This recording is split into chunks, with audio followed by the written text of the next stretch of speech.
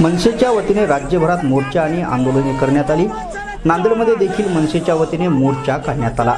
जुना मोंडा ते जिल्हाधिकारी कार्यालयापर्यंत हा मोर्चा काढून राज्य सरकारविरुद्ध घोषणाबाजी करण्यात आली.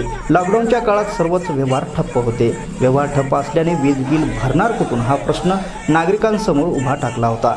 लॉकडाऊन काळातील वीज बिल सरकार माफ करणार अशी घोषणा वीज मंत्री नितीन राऊत यांनी केली होती. पण नितीन राऊत यांनी काही दिवसापूर्वी वीज बिल माफ होणार नाही असे स्पष्ट केले.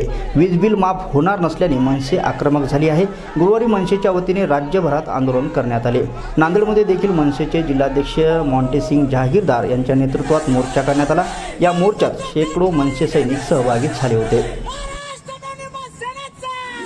महाराष्ट्र नवनिर्माण सेनेतर्फे सन्माननीय रावसाहेब ठाकरे यांच्या आदेशानुसार आज संपूर्ण राज्यभर प्रत्येक जिल्ह्यात सन्माननीय राजसाहेब ठाकरे यांच्या निवेदन यांच्या लेटर लेटर पॅडवर प्रत्येक जिल्हाधिकाऱ्याला देण्यात येत आहेत.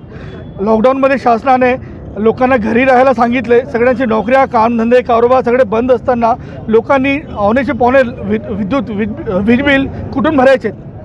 या सरकारला जागा करण्यासाठी महाराष्ट्र नवनिर्माण सेनेने मोर्चा काढून जिल्हाधिकाऱ्यांना निवेदन देण्याचे ठरवले होते.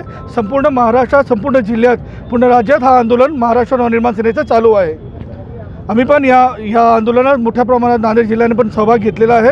आम्ही जुना मोंढा ते जिल्हाधिकारी कार्यालयावर मोठ्या प्रमाणात मोर्चा काढू आता सन्माननीय जिल्हाधिकारी साहेबांना निवेदन देण्यात देण्यासाठी जात आहोत. जर मागणी मान्य नाही झाली जर शासनाने ही मागणी मान्य नाही केली तर महाराष्ट्र नवनिर्माण सेने यापेक्षा तीव्र आंदोलन करू शकते हे शासनाला माहीत आहे. सर्व लोकांना आम जनतेला माहीत आहे. सर्वसामान्य नागरिकांसाठी फिक्स फक्त महाराष्ट्र नवनिर्माण सेनाच लढू शकते.